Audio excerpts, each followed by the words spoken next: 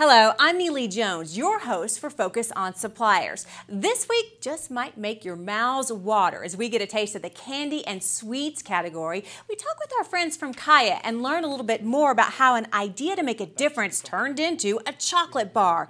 And a company recognized at Walmart's YBM talks about how it's able to sell an Easter basket for just 88 cents. Plus, the importance of health education and diversity in the workforce. This is Focus on Suppliers starts right now.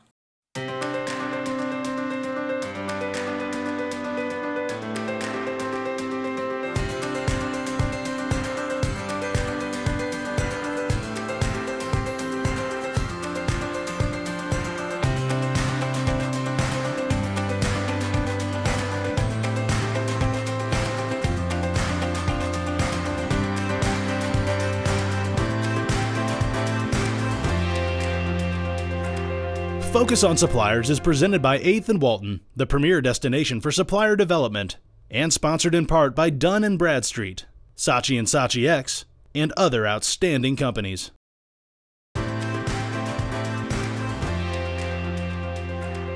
Your millennial fun fact for the week is that Skittles candy brand has over 24 million Facebook subscribers.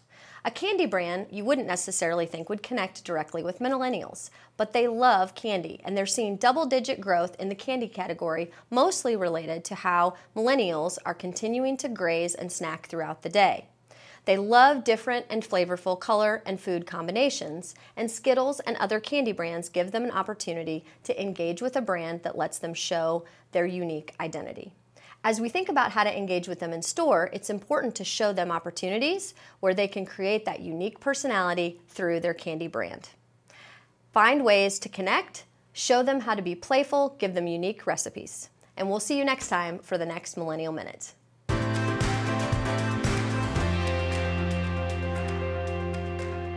Joining us now, a special guest I'm so excited to introduce to you from KYYA, Rick Boosey. Thank you for being here. Thanks, Neely. I'm excited. For people who don't know about your company, you make chocolate. Tell me how it started.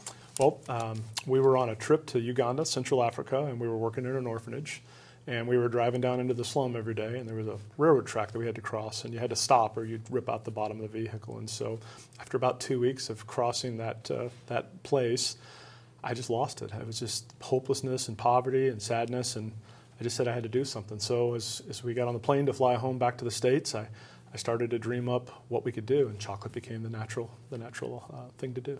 Yeah, you said you went through the three different things that they had, and you thought, no, no, yes, this one works. Yep. So we started with with coffee because uh, Uganda has some really good coffee in the Mbale district, and that didn't make sense. I got a bunch of coffee roaster friends, and cotton. I love cotton, but I'm not a textile guy. But cacao made really logical sense. We used to own a restaurant where you know our family's a bunch of foodies, and so we're like, that, that, that, should be something easy to do.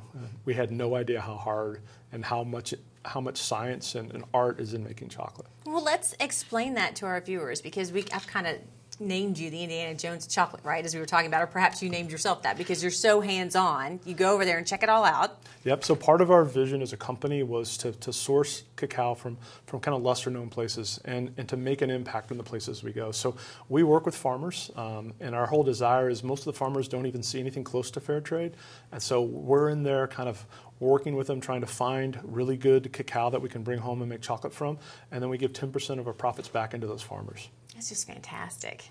It's just a, it's a good way and a, and a good thing to do, and, and you know, it, uh, it made a lot of sense. We can make a huge impact in small villages around the world, and so that's, that's something that just gets kind of close to our hearts. Now, you started at your house making this. It, it, took a few batches. Yeah, probably close to 100 batches. Wow. Uh, we started in our laundry room. My wife gave me a four foot counter she kicked me out of the laundry room and uh, we moved into our sunroom. And then after one night in February where some chocolate got on the ceiling, uh, she kicked me out of the house and we, we kind of moved into our first shop. Okay, and I wanted to ask you particularly about this packaging. It was designed so that it would catch a woman's eye from far away. Yeah, so when we came home and we started to think of chocolate as our vehicle to love on people around the world, we started to say, okay, so who buys chocolate? And 80% of the people that purchase chocolate are women. And so we're like, let's make a package that appeals to a woman, not a guy. Most of the chocolate in the shelves, it's big bold letters in brown. It, it's, it's guy chocolate. Mm-hmm. And so, uh, so we said, let's make our chocolate pop off the shelf at eight feet. And so that's what we came up with. And that's fantastic. And you, you have all different flavors. How do you go about picking flavors? Well, so uh, we were actually at the Bentonville Farmers Market kind of earning our keep, learning our wares. And uh, Whole Foods Forager came up one morning and said, "Hey, we we really like what you're doing here. If you would add some infusions, some, some flavors to your chocolate, it'd be a really big hit. And so we just started to experiment with that, came up with some flavors that we liked, took them back to the farmer's market. It's been a great vehicle to kind of learn and, and just get feedback really immediately every week. Mm-hmm. And then we just use that to kind of lock down our flavors. And then we rotate out things that don't sell. And you learn. You, you are actually in 100 different locations? We're, uh, we're in 172 locations across the Midwest right now.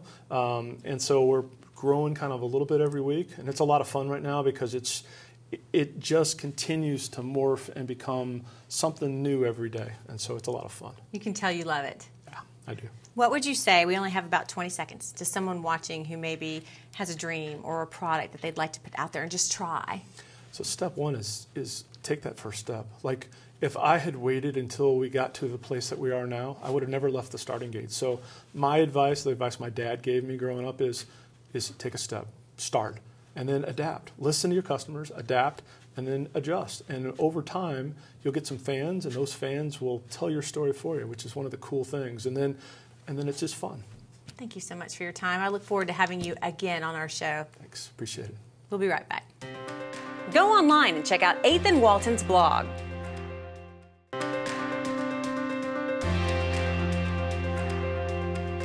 We're here today with Jeffrey Menaged from Chief Executive Air. Welcome, Jeffrey. Thank you so much. So glad you could be here with us. Tell us a little bit about Chief Executive Air. Uh, Chief Executive Air is a full service private aviation company. Uh, we charter out private jets, and we also provide consulting services for companies that are thinking of buying planes. Uh, we have a global footprint, and so if you're anywhere in the world and you need a plane, if there's a runway, we, we can help you. And I think I know the answer, but what brings you to Bentonville?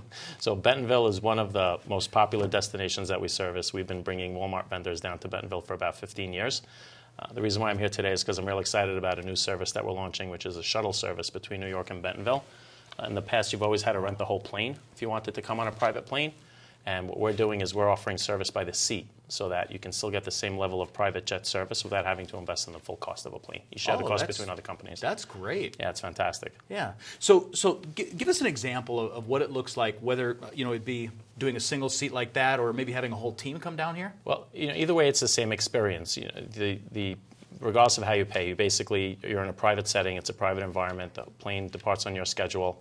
Uh, you're able to pretty much you know have a meeting you know on, on the flight. For example, this morning we had a bunch of executives from a company and they had a strategy session all the way down, planning out their day, what they wanted to accomplish. They went through each meeting, meeting by meeting, and set up their own mini agenda of what they wanted to discuss and how they would handle it, and got different people's advice. You know, if, you know, someone said something, how they would respond. Okay. And it, it, was really very productive. It was a real productive time for them. Well, they're in this nice closed environment right. where no one can get private. out.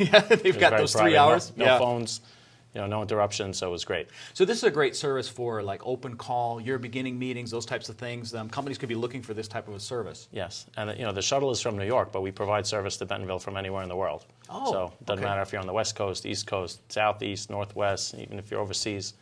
You know, if you if your business brings you to Walmart, you know, you yeah. focus on your meeting and you let us get you here. Yeah. Well, it sounds like Chief Executive Air is a great opportunity for companies. Thank you so much for coming in today, Jeffrey. Thank you. There's no cause greater than helping someone achieve their full potential in life. Join us by sponsoring our 2016 Sunshine Gala. Call Charles at 636 3190.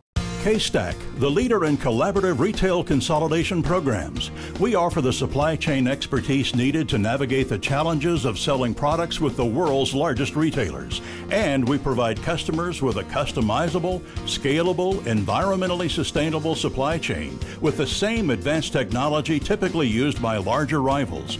By leveling the playing field, KStack lowers distribution costs and increases overall margins. KStack, retail logistics is what we do. Support Support the Northwest Arkansas Children's Shelter at the Starlight Gala on Saturday, April 9th.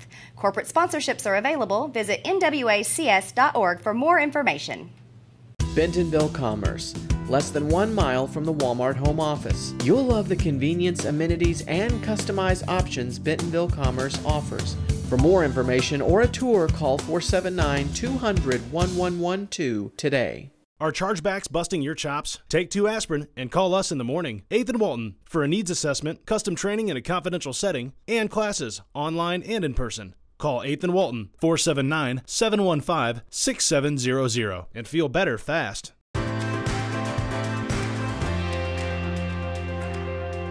Joining us now is Megan Overbey. She's here from Olivet. Thank you for being here today. Neely, thank you so much for having us. Obviously, we're going to talk about something sitting right here that I love, but before we get to that, give us an overview of your company and some of the things you create. Sure. Olivet International is a 38 year old privately held company, and we sell everyone from Walmart, Target, all the way up to Macy's, Bloomingdale's, as well as OEM. And we are an expert in the cut and sew industry. Okay, I'm so excited because we have many things to talk about here. When we talk about the Easter bucket, it was actually featured at the year beginning meeting. How did that go? It went really well. We've gotten a lot of um, a, a great feedback on these buckets, as well as a lot of um, interest from the Walmart buyers. There are several things that you were proud of with this product, not the least of which is the made in the USA. But that was a bit of a journey. Absolutely. We're very excited about these buckets for many reasons. We always have the customer in our, um, our minds when we're working with the buyer strategically. And we were um, able to reshore these products. They were made in China last year. Now they're made in the USA, in uh, California. They're also sustainable. And we were able to lower the retail from 98 cents to 88 cents.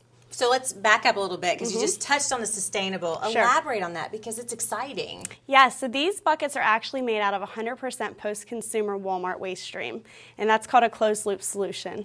What I mean by that is um, Olivet actually opened up a subsidiary called Ecotech, and we actually take Walmart waste stream. So, for example, an icing bucket from the icing uh, bakery department, which would usually end up in a landfill, and we process it, and then we take those res- resins and injection mold it back in a product, and it's picked up and it ends back on Walmart That's shelves. Fantastic. It's very exciting. Okay, the price point. You just kind of threw that in there, but to have the price point drop, it's been a challenge, has it not? it, it is a challenge. Um, there's obviously things out of our control, such as oil, um, oil prices, and commodities that fluctuate. But we were able to work strategically with our buyer, and we're very proud and excited that we were able to get to that end 88 cent retail. So, when you put all of these things together in a product like this, how important is it to keep in mind being sustainable, that made in the USA, and your price point when reaching your target consumer, and what kind of a difference can it make? I think it gives us a competitive advantage. Um, from the from which is more important than the other, they're all very important. It means something to the customer, and like I mentioned, we're always thinking about the customer when we uh, develop product and we meet with the buyer. So I know that the customer really appreciates Made in USA. It means something. They um, are, are, interested in sustainability, but they don't necessarily want to pay more for it. So that's where retail comes into play. And you were able to make all of that happen. So a light question because these are very cute. I cannot help it. I have to ask you which one is your cute. favorite? Which color? No, my favorite is aqua and pink right here, which okay. is why it, it's in its cute little decorative state there. well, this is perfect timing and good information for other yeah. suppliers. Is there anything else you'd like to share before we leave you? Uh, they're in Walmart stores now, so if you're looking for a great, beautiful bucket at 88 cents, go out and buy them. And remember the difference it can make when you're talking about sustainability mm-hmm. and that made in the USA label, no matter what your category. Thank you for Absolutely. being here today. Thank you so much for having us. We'll be right back.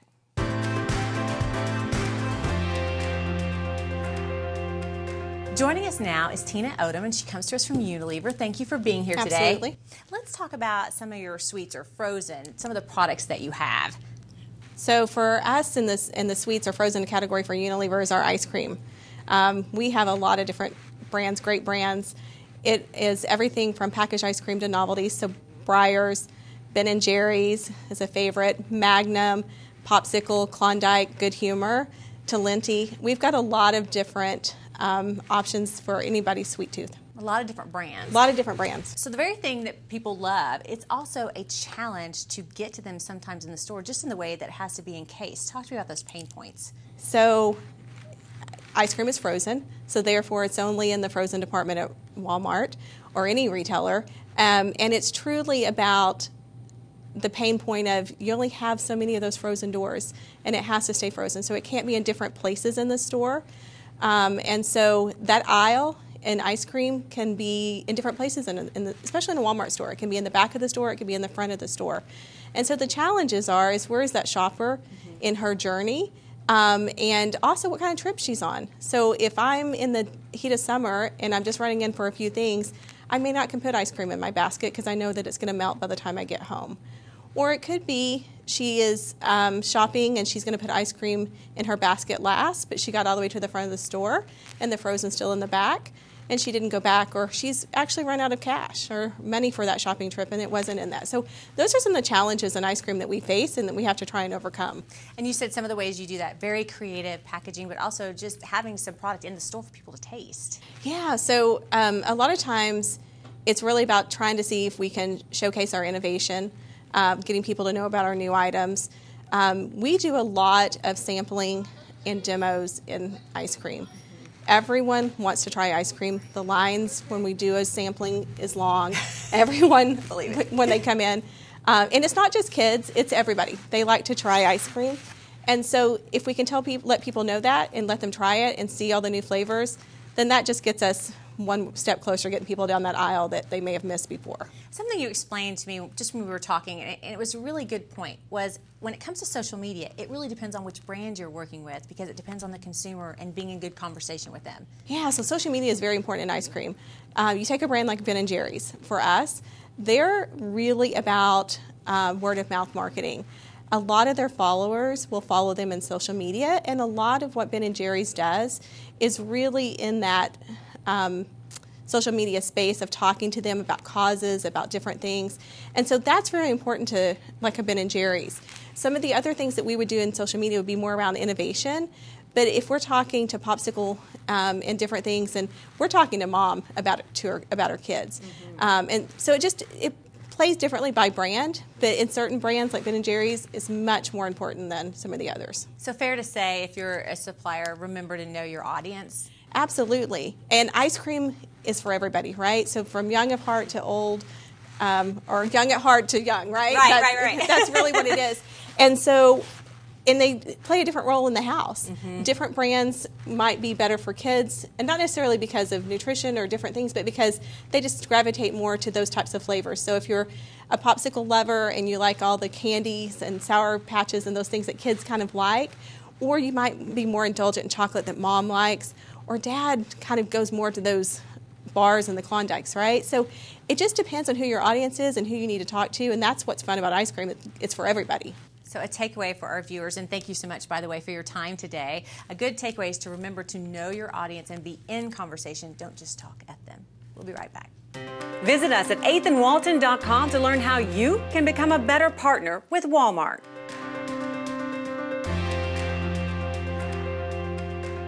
We're here today with Randy Walker from Harvest Data. Welcome, Randy. Thanks for having me. And you're going to be sharing us a little bit about the free Linker app. Tell us a little bit about that. Sure. So, we designed this free application for suppliers to help them download data from Walmart's Retail Link website. Our whole goal and purpose was to make it easy for them to get the data from Walmart. Okay, and how exactly does this app work? What does it do? Sure. So, uh, whenever you run a report in Retail Link, you get an Outlook like pop up notification in our Linker free app. And once you click on it, then it enables you to select wherever you want to save that report. It keeps you from actually having to log into a uh, into Walmart's website sure. and select and keep refreshing. Going back in there over and over again to try to find a report, see if it's downloaded? Absolutely, absolutely. Now, you have a free version, but you also have a paid version. What's the difference between the two? Sure, the free version is meant uh, so that suppliers can get an introduction and uh, it's an easy to use application. But then our paid version is our fully automated solution. It uh, runs at night, overnight uh, constantly checking and then downloading. So then, whenever you walk in on Monday morning to your desk or any day of the week, your reports are already waiting for you.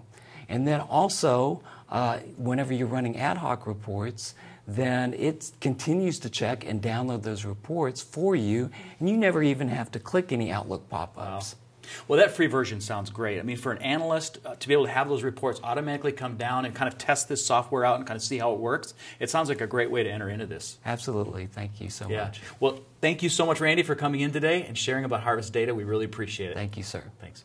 Doug McMillan will be speaking at the corporate luncheon on March 30th, presented by Single Parent Scholarship Fund of Benton County. Our own Neely Jones is serving as MC. Register online at spsfbc.org forward slash about forward slash events. GigWalk is transforming how work gets done. As the leading mobile workforce management platform, GigWalk provides companies with mobile tools and a data driven approach to improving business efficiency. Leading brands and retailers use GigWalk to manage their field teams and to mobilize 750,000 GigWalkers to collect data intelligence about their business and brands. Are the shelves stocked? Are my products priced competitively? Are the correct promotions in place? Visit us at gigwalk.com to learn more. Gigwalk, make work better. Are bookkeeping disputes a pain in the neck? Take two aspirin and call us in the morning. Eighth and Walton for a needs assessment, custom training in a confidential setting, and classes online and in person. Call 8th and Walton 479 715 6700 and feel better fast.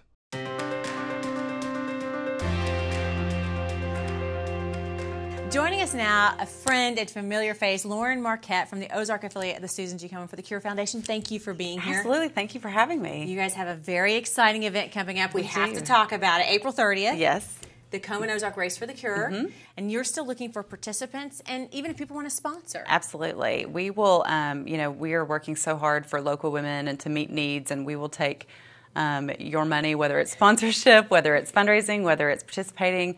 Um, if you don't, if you're a little strapped for cash, we would love for you to come and volunteer um, to cheer on our participants. Um, we have a place for everyone. And You don't always have to write a check. Sometimes you can be there to help pass out water, anything you can think of. Absolutely. You guys are hoping for more than 800,000 to Mm. raise more than 800,000 Mhm. and more than 8,000 participants. Mhm. So we need to get there. Yes. So folks can go to your website. Yes, they can. It's uh, komenozark.org, and you can register or make a donation. And, um, and we're also going to be opening our um, race office at the Pinnacle Hills Promenade Mall April the 12th, I believe. It's around the corner. I know, it is. It's so exciting. You guys have done a lot of different things. You were telling me you just recently finished an initiative that you're really pushing. Talk to me Mhm. about that. Absolutely. So we just finished this um, huge uh, community profile where we do an assessment on the healthcare systems. We go and do focus groups. Um, we pull in the data of what our service area looks like, and we just talk and we we listen and we talk to people and see what's going on. And um, through all of our focus groups, we realized that um, there are certain priority areas. One is in this area um, specifically um, the Hispanic community and making sure that all of our um, programs are culturally um, competent and also bilingual. Um, and then another big area that we're trying to um, address is survivorship needs. And um, we, with the loss of our executive director um, not even a year ago, we realized that there's a lot of survivorship needs and questions that need to be answered. And so we're working on putting money into that. And, and so as soon as a woman hears you're cancer free, that's not the last um, information that she's given. It, it's interesting that you mentioned that. We were talking about this. I just have a, I had a friend. She just went through the surgery, had a double mastectomy, and it was the strangest thing for her when the doctor says, "Okay, you're cancer free," because she felt like, "Wait, what? My life is not normal. What's the new normal?" Absolutely. So this kind of helps with that. Mhm. Okay, so it's a program that's very needed. One in eight women. Mhm. We see that statistic bounce back and forth between one and seven, one and 8 Mhm. So we just want to drive home this can happen to men and women. Absolutely. And make sure we're getting participants on all level. And then very special race chair this year, your honorary race chair. Yes, we're so excited to have um, Judith McKenna, the COO of Walmart, um, join us to be our honorary race chair. She has already issued challenges um, internally, and she is gung ho to raise uh, more money and to make sure that women are covered. Um, she's actually involved in the breast cancer movement in the UK through Tickled Pink. So um, cool. so it's it's a cause near and dear to her heart, and we were so glad to connect with her, and she's just been fantastic. One of the things I love about you guys is you really, truly care. Mm-hmm. And you keep the funds that you raise in your service area, which I believe, I want to make sure I get it right Benton, Washington, Madison, Franklin County, as well as Sebastian County, and then Mhm. two counties in Missouri. Yeah, we're not in Franklin. Not Franklin, Cra- Crawford. Crawford Yes, County, okay. uh-huh. And then we have two counties in Missouri as well, Stone and Taney. So it Um, stays here. Stays here. It stays here. Seventy-five percent of what's raised stays local, and it goes for things like mentioned survivorship. Mhm. Um, it goes for access to care, so it could be mammograms, could be biopsies. Um, we do some treatment, mastectomies, but we do a lot of emergency assistance too, because we never want a woman to decide to put either to put food on their table or to make it to treatment. Um, so we've we've been seeing a lot with the changes in healthcare. We've been seeing more women covered, but we, um, trouble paying the copays or deductibles, and then also needing to get to and back and from treatment, or it might be childcare or things like that. So we kind of adjust to fit the need. So there are many different ways that you can support. Support someone in the race, make a donation, or simply volunteer. Up next, we have an update for you on a heart of business we brought to you earlier this year. Stay tuned.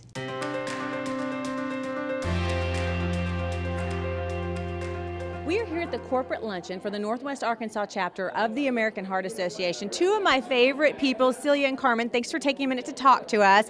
I want to ask you both why it's so important to be supportive of this organization. I'll start with you, Celia. It's important because it strikes home um, with losses that happen. It's important because we need to educate people on what are the warning signs. We need to encourage people to go get their heart checkup and well checkup, and we're making an impact in Northwest Arkansas through the circles, and I'm excited to be a part of that. And Carmen, what would you say about the importance of being involved in when Walmart supporting this group? Well, I think uh, when I look at the organization overall, and as Celia said, you know, it's such an important um, part of what we do um, at Walmart, in particularly, and, and, really supporting all these organizations that really have. Uh, you know, an impact, you know, uh, in particularly in women. In this case, for me, uh, this is a number one killer uh, for women, right? So, and not very many people know that. So for me, leveraging obviously a great company that I work for, being Walmart, uh, and being able to reach as many women as we can, you know, that is my goal. That's my uh, mission, and to be able to um, drive the awareness and just create as much awareness as we can. Uh, Thank you both. I know you've been excited to visit with Star. It's been nice to have her. We talked about diversity a little bit and about the importance of diversity, both in the corporate world, in our community, and raising awareness for people of all ethnicity about heart disease. Is there anything else you guys want to say? Because I feel like we have a tendency as women to go, we're the caregiver and worry about everybody else when you need to be looking at yourself. I think your point about ethnicity is great because heart disease is colorblind. And so it's a common issue. The number one killer, as Carmen said, I didn't know that until I got involved with this. And so it's a passion for anyone, doesn't matter what ethnicity you are. I hope that people will take this as a challenge to go get that well checkup and find out what your heart health really is. Absolutely. I take advantage of the opportunity. I'm Hispanic. Mm-hmm. Um, so, uh, as when you talk about ethnicity, you know, and I, I started doing a lot of research to really understand, you know, how does it, you know, does the Hispanic community understand, especially the women, the Hispanic women understand um, the this is the number one killer actually for Hispanic women as well. It again, regardless uh, it is the number one killer for women. But importantly, I thought I could leverage, you know, being Hispanic, being able to speak the language and communicate mm-hmm. um, the uh, importance of having a checkup and make sure that you're listening to your body, mm-hmm. that you do take care of yourself. Uh, and as caregivers, as you said, you know, we kind of care for everybody else first. Um, you know, it is important that you listen to, to your body. Thank you, you know, both so much. It's so nice to see you both. We really appreciate your support and also being able to talk with you. It can make a real difference. Thank you. Thank you. Thank you. We'll be right back. Visit WalmartNewsNow.com for the most current retail news. Support the Northwest Arkansas Children's Shelter at the Starlight Gala on Saturday, April 9th. Corporate sponsorships are available. Visit nwacs.org for more information. Bentonville Plaza, across the street from the Walmart home office. The best office location offers proximity and services like no other business complex in the area. Call 479 200 1112 today.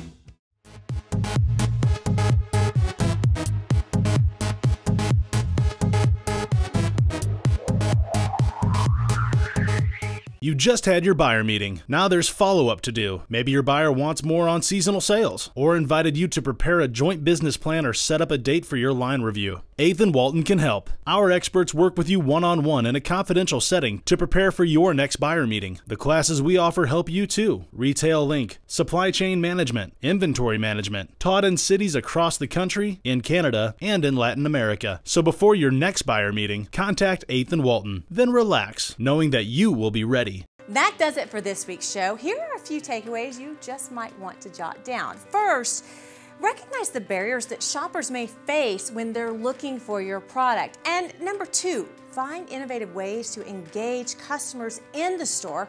Also, remember, made in the USA and sustainability remain two top priorities for today's consumers. So do good and also help your bottom line all at the same time. That does it for this week. We'll see you back here next week for another Focus on Suppliers. To record this show, set your DVR to Focus on Suppliers, Sundays at 5 a.m. on KNWA.